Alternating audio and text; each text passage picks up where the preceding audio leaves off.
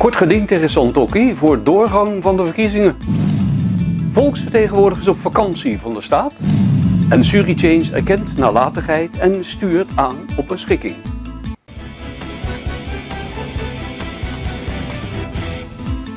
Goeiedag. Dit is Regionieuws TV Suriname van 17 juli 2023. Het nieuws voor 1 miljoen Surinamers. De juriste Jennifer van Dijk-Silos, ooit voorzitter van het hoofdstembureau in Suriname, vroeg vorige week in kort geding om de veroordeling van president Jan Santokki en parlementsvoorzitter Marinus B. tot het houden van verkiezingen op 25 mei 2025. Ik geef het geen schijn van kans, zegt haar collega Hugo Esset. Van Dijk Silos wil dat president Santokki wordt veroordeeld om een conceptwet in te dienen binnen 30 dagen na het kort geding. De conceptwet moet de wijziging regelen van de kieswet. Binnen twee weken nadat de conceptwet is ingediend bij de Nationale Assemblée, moet parlementsvoorzitter B dit in behandeling nemen. Hoewel het om een kort geding gaat, wordt de zaak pas op 10 augustus behandeld.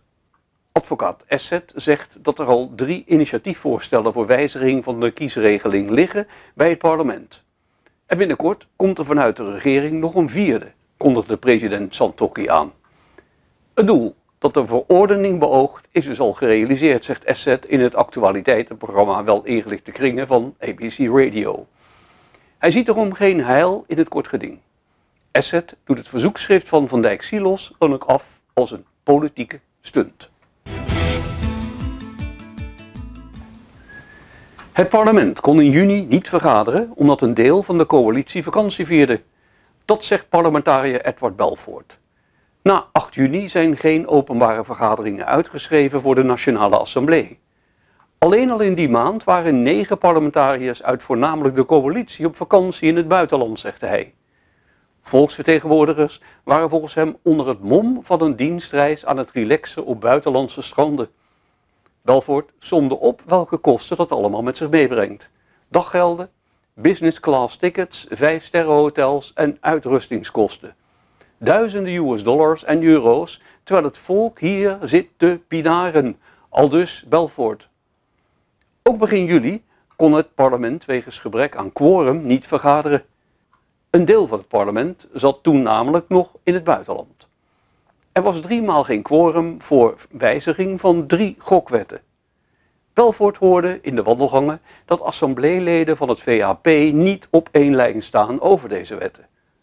Als de wetten niet voor augustus zijn goedgekeurd, kan dat gevolgen hebben voor de beoordeling van Suriname door de Caribbean Financial Action Task Force. Geldwissel- en transactiekantoor Surichange erkent dat zij de afgelopen jaren honderden ongebruikelijke betalingen te laat heeft gemeld bij de overheid. Aishi de advocaat van Surichange, zei in het actualiteitenprogramma Nieuwsuur dat er geen opzet in het spel was. De meldingen waren niet bewust achtergehouden. De advocaat zei dat het bedrijf bereid is om te schikken.